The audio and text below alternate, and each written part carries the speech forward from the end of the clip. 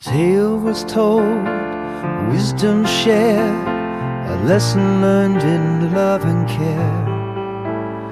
One asked his friend so dear, Do you love me? Can you hear?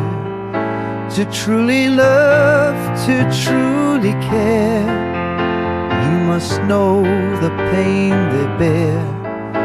If you don't see the hurt inside, how can love in truth abide? The friend replied, I love you so, but of your pain I do not know.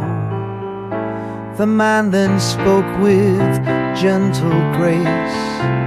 To love you must see the pain I face. To truly love, to truly care, must know the pain they bear. If you don't see the hurt inside, how can love in truth abide? To love my friend, it's understanding, deeply hurt, to feel the sorrow, to share the strife. That's the essence of loving life.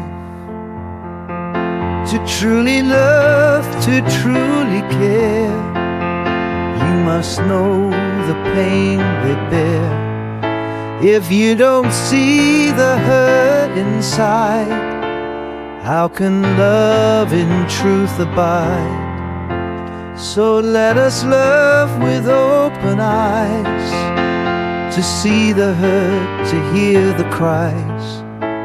For love is more than just a name, it's knowing where the other's pain.